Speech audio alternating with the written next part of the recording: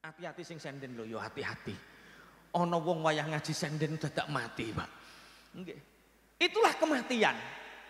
Ora peduli umur, bocah cilik mati ya pantes, bocah nom mati ya pantes, wong tua ya tambah pantes. Gak peduli jabatan, RT yo mati, RW yo mati, Moden yo mati, lurah yo mati. Kabeh wong wayahe mati ya tetep.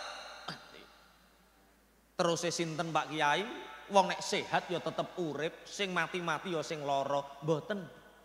Dawe Allah mboten bedake sakit, mboten bedake sehat. Likulli ummatin ajal. Wong niku duwe kabeh umat iku duwe ajal.